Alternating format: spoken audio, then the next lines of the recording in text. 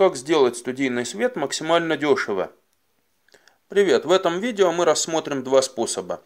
И первый способ, самый простой, это просто купить светильники с пружинными креплениями и использовать их для освещения студии. Второй способ это из подручных материалов сделать светильники самому. Я для подсветки решил использовать схему из четырех светильников и поэтому собрал для себя четыре светильника – Далее я просто опишу процесс сборки. И первое, что нам понадобится, это желательно круглые подставки. Их можно выпилить из какого-нибудь материала, например, ДСП, дерево, ОСБ и подобные материалы. В круглых подставках по возможности равномерно размечаем отверстия и сверлим эти отверстия. В дальнейшем в эти отверстия мы закрепим стойки опоры. Для изготовления стоек опоры я решил использовать обычные ветки, оставшиеся после обрезки деревьев. Единственно постарался подобрать более-менее ровные. Напилить их нужно равной длины и зачистить с одной из сторон буквально 3, 5, 7 сантиметров. Далее на зачищенную часть надеваем термокембрик или заматываем изолентой. Если мы использовали термокембрик, обжигаем его на газе. Термокембрик дает усадку и плотно зажимает древесину. Получается вот такая картина. Далее по центру нашей опоры со стороны термокембрика просверливаем отверстие диаметром около 3 мм.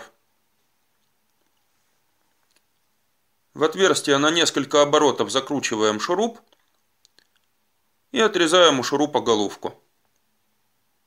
Теперь при помощи резины от камеры скрепляем три наши опоры на расстоянии примерно 20-30 см от подставки. На подставку прикручиваем светоотражающий материал. Можно использовать, например, оцинкованный лист железа. Лист должен занимать половину окружности и высотой быть примерно 30 см. Следующий этап – это изготовление электрических светильников – для этого нам понадобится небольшой кусочек листового материала толщиной от 8 до 20 мм, обычный патрон для лампочки, провод, вилка, лампочка и кое-какой инструмент.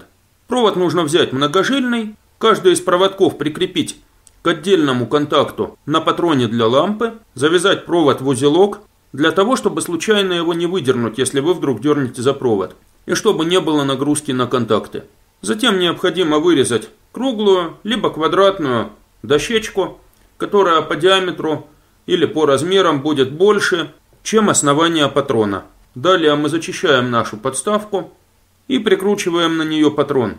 Естественно, если у вас шурупы вылезли сквозь вашу подставку с другой стороны, то шурупы нужно спилить. Естественно, с обратной стороны провод нужно соединить с вилкой, отдельный проводок на отдельный контакт вилки. Теперь вкручиваем лампочку и все, светильник готов. Теперь одеваем подставку на опоры, ставим на подставку светильник, и наш светильник для видеостудии готов.